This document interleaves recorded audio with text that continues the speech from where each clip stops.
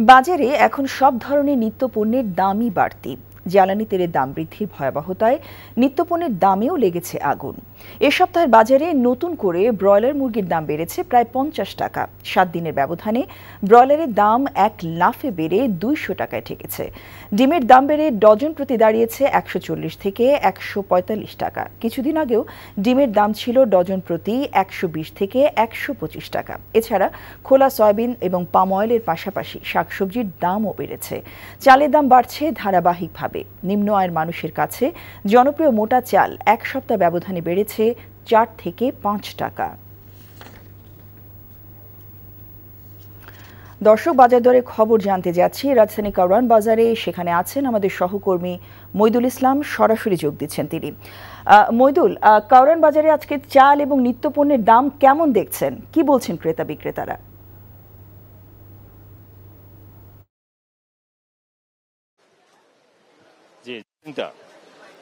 আপনি ঠিকই বলেছিলেন যে, জ্বালানি তেলের দাম বৃদ্ধির পরে আসলে সব ভোগ্যপণ্যের দামই বেড়েছে। তো আমরা সকালে রাজধানীর মোহাম্মদপুর কৃষি মার্কেটে ছিলাম, এখন কাউরান বাজারে আছি। তো দুই মার্কেটে আসলে দামের ক্ষেত্রে একই লক্ষ্য করা গেছে যে, ব্রয়লার মুরগি, সেখানেও আমরা দুশো টাকা দরে বিক্রি করতে দেখেছি। এখানেও পঞ্চাশ টাকা বাড়তি দামে, অর্থাৎ দুশো টাকা দরে বিক্রি করতে দেখেছি। এছাড়া সোনালী মুরগি সেগুলোর দামও বাড়তি আছে এবং ডিমের দাম আসলে সেই একই রকম, একশো চল্লিশ থেকে পঁয়তাল্লিশ টাকা দরে বিক্রি হচ্ছে ডজন প্রতি, যেটা আগে একশো বিশ টাকা, পঁচিশ টাকা ছিল।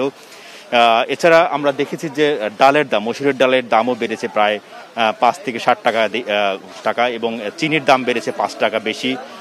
এছাড়া আমরা দেখেছি যে কিছু কিছু মশলার দামও বেড়েছে, যে আমদানি নির্ভর কিছু মশলা আছে সেগুলোর দামও বেড়েছে। এছাড়া আমরা দেখেছি যে সয়াবিন তেল খোলা সয়াবিন তেল সেটার ক্ষেত্রেও দশ টাকা, বারো টাকা বেড়েছে এবং পাম তেল সেটাও দশ টাকা পনেরো টাকাও আমরা বাড়তি দামে বিক্রি হতে দেখেছি এবং চালের ক্ষেত্রে আমরা দেখেছি যে মোটা চাল কৃষি মার্কেট, মোহাম্মদপুর কৃষি মার্কেটে দেখেছি যে পাঁচ টাকা, ছয় টাকা বা তারও বেশি দামে কোনো কোনো চাল বিক্রি হচ্ছে এবং মোটা চাল বিক্রি হচ্ছে। বাউন্ন থেকে পঞ্চান্ন টাকা দরে, যেটা আগে তার চেয়ে চার পাঁচ টাকা কমে ছিল।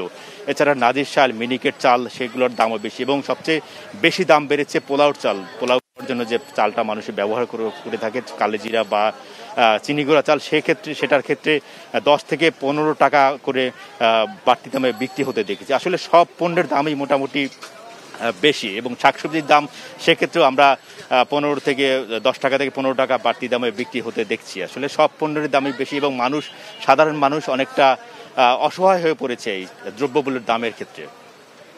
জসিন্তা।